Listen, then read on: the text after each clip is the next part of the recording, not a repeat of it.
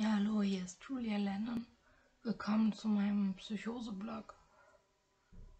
Ähm, was nehme ich als Thema für meinen Psychose-Blog Teil 2? Also, ich finde selber, dass ich total gut aussehe. Also geht es vielleicht um Männer im Psychose-Blog 2. Also, ich muss sagen, es nutzt mir nichts, dass ich vielleicht gut aussehe, weil ich werde von Männern eigentlich nur benutzt.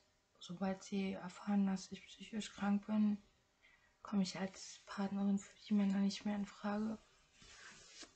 Und dann, ja, vielleicht mal Vögeln oder so, aber das war's dann auch. Weil er will schon so eine kranke Frau.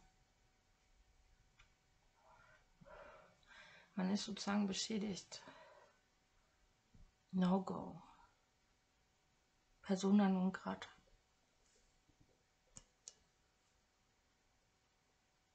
Also, wie gesagt, habe ich ja auch überall Hausverbot. Eigentlich schon fast Berlin-Verbot. Das ist das, was den Leuten zu mir einfällt.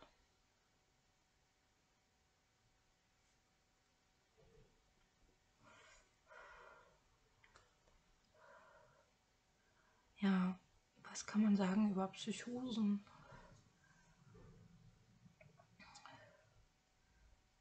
Also ich höre jetzt keine Stimmen oder so. Ich habe dann, wenn ich die Tabletten absetze und so psychotisch werde, dann habe ich oft Angstzustände. Teilweise auch richtig krass Todesangst. Und äh, manchmal denke ich, dass Lemmy noch lebt. Weil ich sage immer, Lemmy ist Gott, also er entscheidet selbst, wann er stirbt. Und wenn ich die Tabletten nehme, dann bin ich eigentlich ganz normal. Also dann äh, bin ich eigentlich ein ganz normaler Mensch, so wie alle anderen auch. Aber diesen Unterschied machen zu können, das fällt halt meinen Mitmenschen extrem schwer.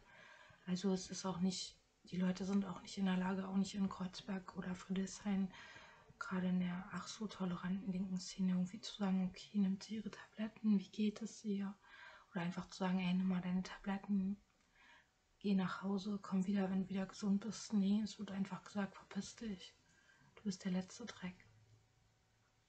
Und ähm, ich habe auch keine Band oder so, obwohl ich seit Jahren Musik mache. Mit mir will keiner zusammen in einer Band spielen, weil ich psychisch krank bin.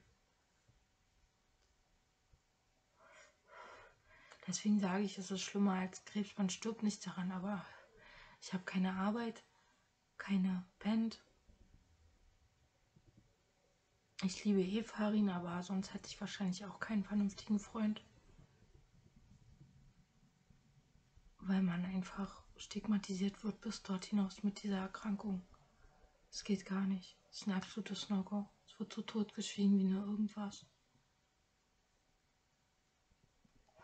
in der Psychiatrie sind gute Leute, die das auch haben. Also ich habe gute Leute in der Psychiatrie kennengelernt und ich möchte hier auch eine Lanze brechen für alle meine Psychiatrie-Ghetto-Kumpels. Weil da wir halten zusammen, was bleibt uns anders übrig. Weil Zwangsmedikationen, Fixierungen ist alles an der Tagesordnung.